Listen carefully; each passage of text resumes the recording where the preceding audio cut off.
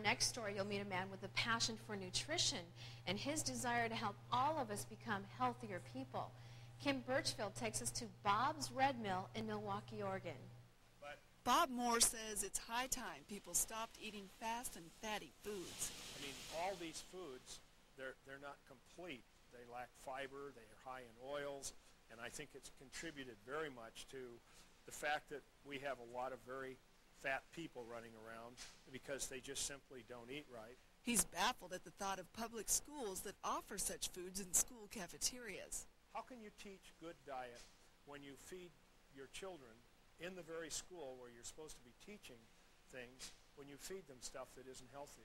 I, I'm very confused by a lot of it, but I am determined that I'm going to continue to make what I perceive as healthy food, and that's what I do for a living. He has some strong opinions about healthy eating, but that's not the only passion pushing Bob to grind on. Why are you so fascinated?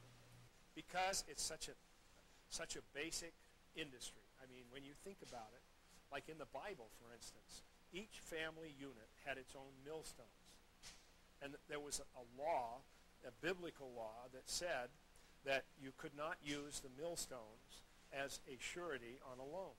He ought to know the good book well enough.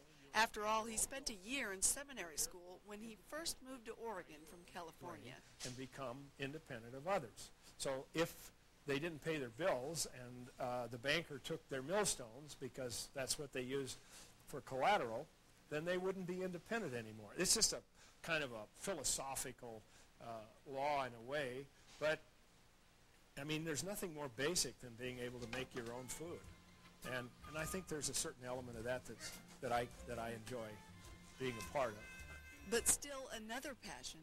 And I have 10,000 square feet of mill of uh, warehouse space across the street full of uh, milling equipment. His fascination with old milling machines brought him full circle to the place he was destined to be. Bob's Red Mill. Mill, the one that you see the pictures of on our labels and whatnot, that's called Bob's Red Mill. And uh, it wasn't red at the time, but I painted it red, and uh, it hadn't been run for a lot of years. It was on the old rail line uh, the old interurban rail line that ran from downtown Portland to uh, Oregon City. And uh, they, many years ago, they brought uh, corn and wheat and things into the mill by rail. All of that has been pulled up, of course. But it was a very historic old mill, and, and uh, it was a nice part of my life. It was. Uh, he started the business in 1977. In 1988, arson brought the barn down, but not the business. A major setback Still, Bob's Red Mill kept on churning.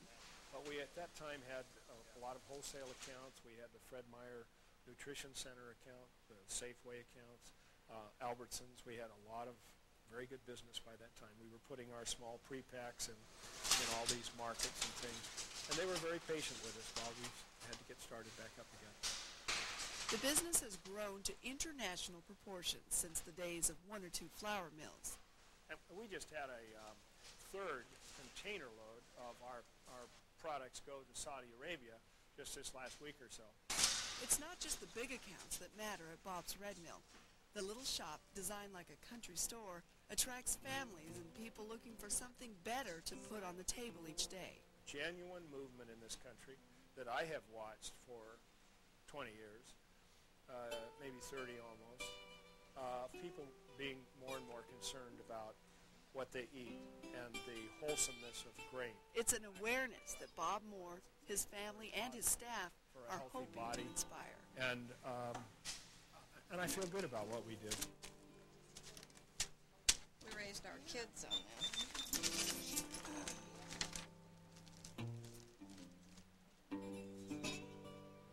Now, Bob says it was actually his wife who first got him interested in natural foods.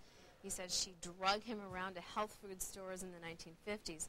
And then he drug her around the country and even Europe to find the correct milling equipment. As for the employees, it's a fun place to work because during morning meetings, they actually get to eat some of that great cereal. Well, speaking of good